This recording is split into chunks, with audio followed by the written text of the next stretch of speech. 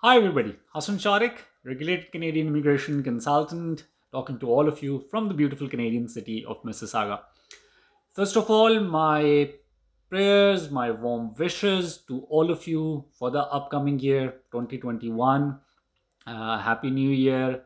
Um, by the time that you watch this video, probably it will be mm, the, the last few hours of 2020, or maybe you would see this video in, in, in the early hours or uh, early few days of 2021.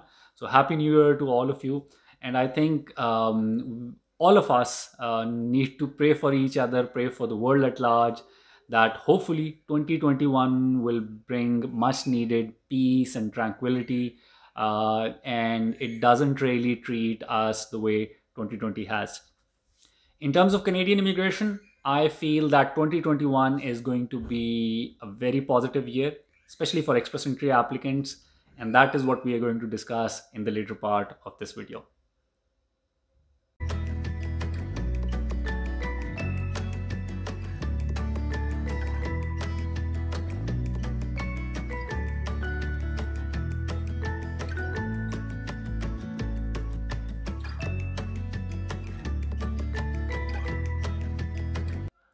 Welcome back.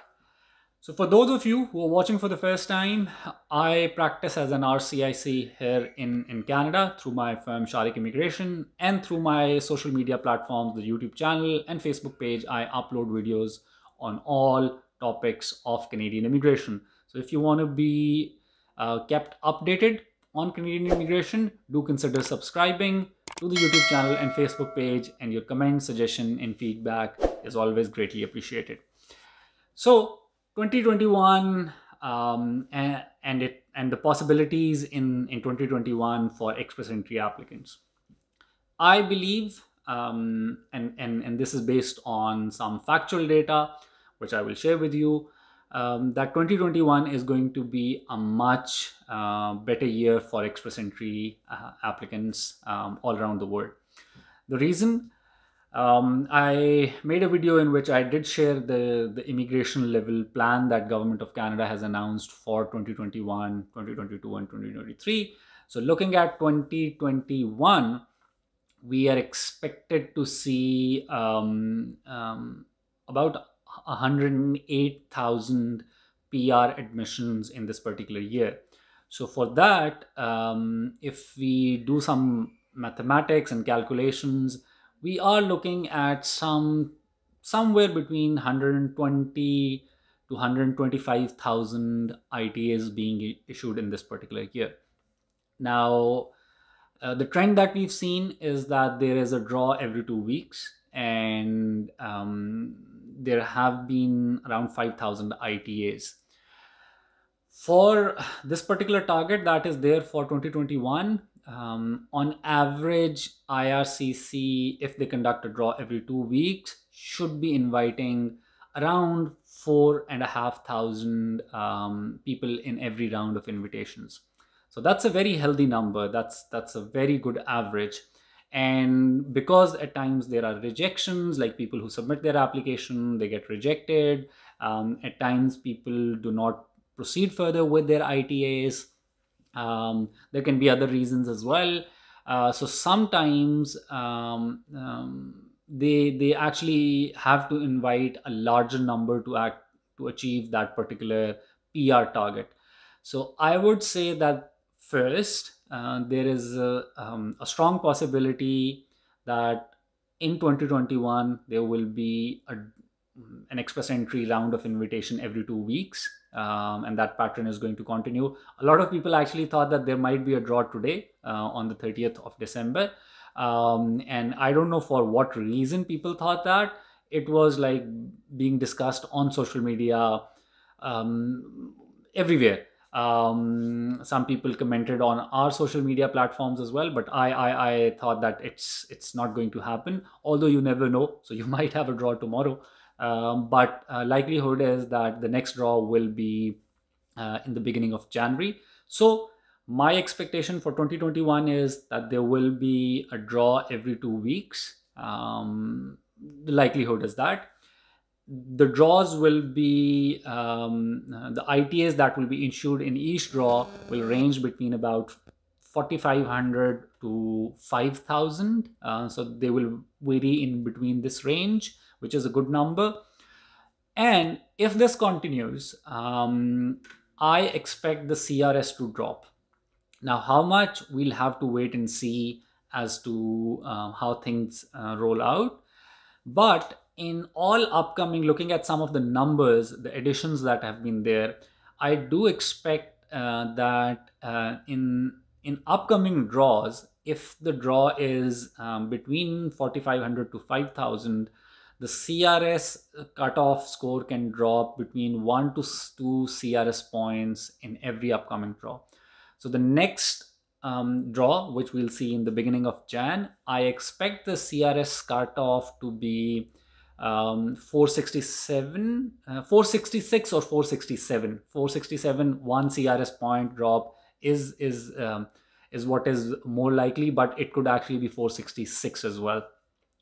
And then uh, if there is a draw every two weeks, um, something like 4,500 to 5,000 in ITAs, I expect um, this cutoff CRS to drop one point, one to two point every uh, uh, draw.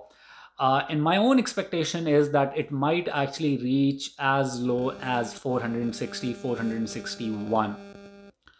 Um, at least, at least first few months, we'll see that. Now, um, a few important things to keep in mind that um, recently IRCC announced that now people can um, score additional points for French language ability so a lot of people and that is where we saw that there was there was a pause um, like there was supposed to be a round of invitation after two weeks but it happened after three weeks so those people who had french language ability and their scores um, uh, were updated that impact has already uh, been translated. Um, people have moved upwards and a lot of people right now who had that um, possibility they, they they've taken the advantage. I do not see the uh, a great impact coming out of that in at least first few months and right now because of the covid situation a lot of parts of the world even even you know doing all these tests and, and that's that's slightly difficult but i do expect that thing to impact in um, in the later part of the year. Um, I can't say after six months or maybe after four months or after eight months, but people who do have French language ability, they will start taking the French language test, uh, and that will add some additional points. So even people, and also people who um, who probably um, um, do not have very strong French ability, but I know, like even even some of my own clients have, have started um, um, prospecting the idea of, of, of, learning French for a few months and then then um, sitting for an exam. So there is a likelihood, uh, and even people who had some French ability but they did not really do a test, they might be doing uh, French language test, and that might start adding um, some pressure uh, in terms of the CRS score. So first about four months, uh, I do expect three to four months the CRS um, scores to drop. Uh, depending on the frequency of draws and the number of ITAs, expected one to two um, CRS points in every draw. Uh, I do expect the score to reach to about 460. Um, that'll be in, in, in, in, in like what couple of months from now. And then we'll have to see how the dynamics are at that time.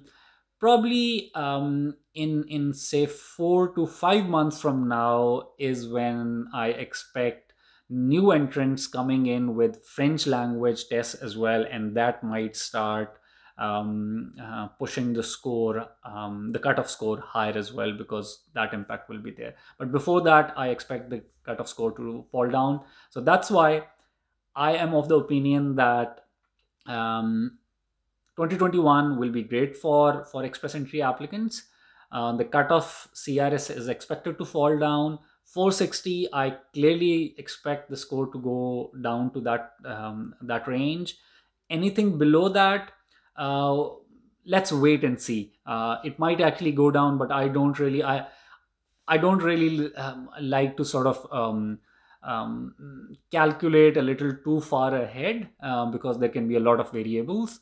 Um, so it might go below 450s. When let's let's wait and see.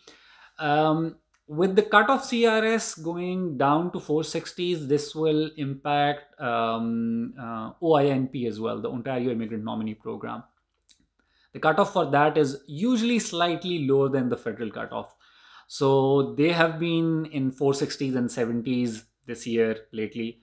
Um, once the federal cutoff drops down, I do expect OINP cutoffs to fall down.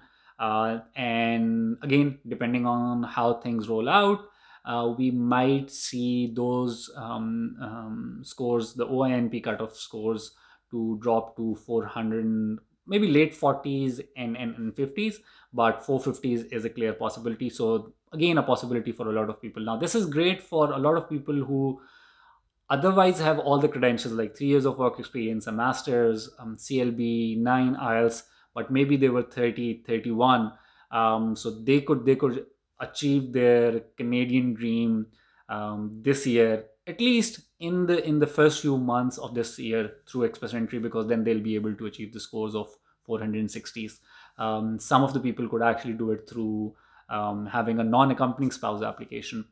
So i see a lot of positive in 2021 at least in the beginning of 2021 in terms of canadian immigration specifically for express entry with this i will ask for leave um, happy New Year. Enjoy the festivities wherever you are. Um, do take very good care of of the, the the SOPs that are there in terms of COVID, and and there's no need to you know go out in mass public celebrations, but do enjoy with your family. Um, and do pray for for a prosperous 2021 um, that's all for now take very good care of yourself and your families and I'll be back with another video on Canadian immigration. Take care and Allah Hafiz.